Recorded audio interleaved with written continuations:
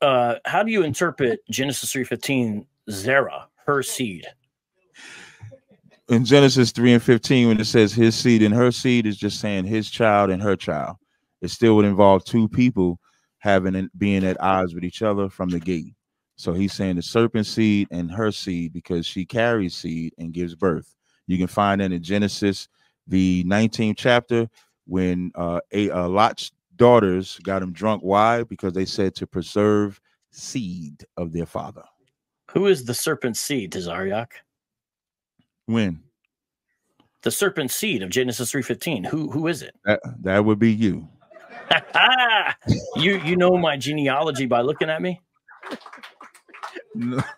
I'm just hey, that's just what I'm going with. That yeah, I got you. you. you. know, I knew you were going to answer that, but I want to have some fun here. He uses a verb that means to become rather than be born, genome instead of genao.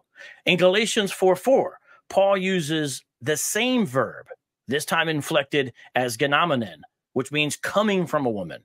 Yet he describes Ishmael in the same passage, Galatians 4, as gaginatha, which is from mm-hmm. genao which is the regular way to describe being born.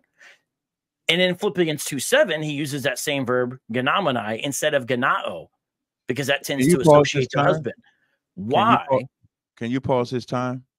I don't Why, know what's going what, on. I don't know what word you're talking about. You know how many words is in Romans 1 and 3? I don't know what you didn't say in oh, Romans oh, okay. 1 and 3. I don't know what word you're talking about. The, the word that's translated sometimes is descended. Can you tell me what word in Romans 1 and 3 you're talking about? Yeah, it's translated as seed or descended. So you talk about the word seed. But I'm but I'm talking about that's that's that's my point though. Do you no, have, I just want to make I, I want to in the blue letter Bible it'll show you what word it is. Listen, what it says is genomine. Huh? The only reason I'm asking is so that when you go to these different verses, I can look for the same word. That's all I'm asking.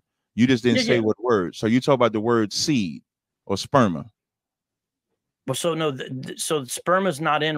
So no, where so where it says descended from spermatos.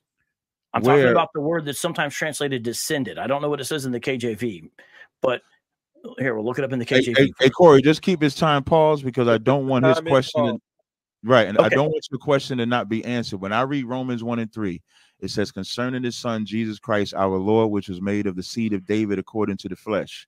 I don't know what version you're reading, but I need to go to the correct word because when I go to the what I thought you said was seed, that word is sperma from what I'm reading. So if it's a different word, you have to tell me what word so I can properly answer your question. You're right. I like that. Thank you for I clarifying. Know I know you do. That's that's good. Do. Oh, that's Look, good. I, I, pause your time and everything because you need as much help as you can get. I appreciate that. Now, to be fair to myself, I thought you would be up on game and know which word I was talking about. It's made. I didn't say spermatos, so I'm clearly not talking about Actually, that. It's made. Word? Well, it's made said, in English, I, translated KJV, which was made. That's the word I'm asking. For the record, for the record, when I said seed, you said yes, and then you changed your mind. That's why no. when you asked, when you asked who was the seed in Genesis three and fifteen, and I said you, you proving it right now. That's, that's